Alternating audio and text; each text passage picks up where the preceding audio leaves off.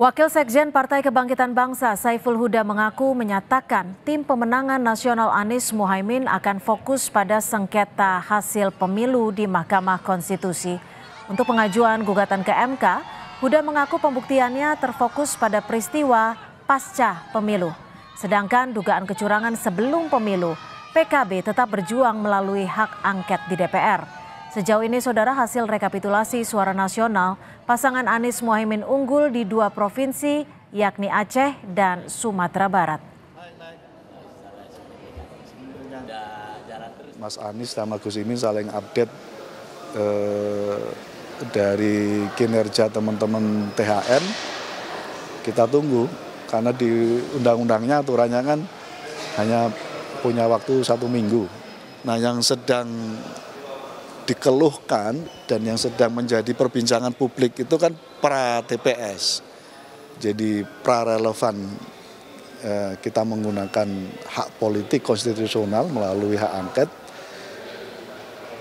Pasca TPS kita ngomongin soal eh, kewenangan di MK.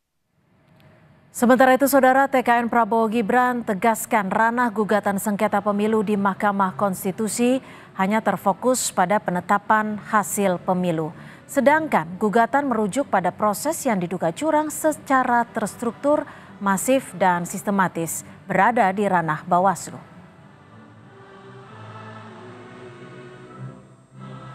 Gugatan itu kan nanti bukan antar partai peserta pemilu, bukan antar paslon. Gugatan itu dialamatkan kepada keputusan KPU yang misal yang nanti akan memenangkan pasangan 02 yang digugat adalah keputusan KPU terhadap hal itu.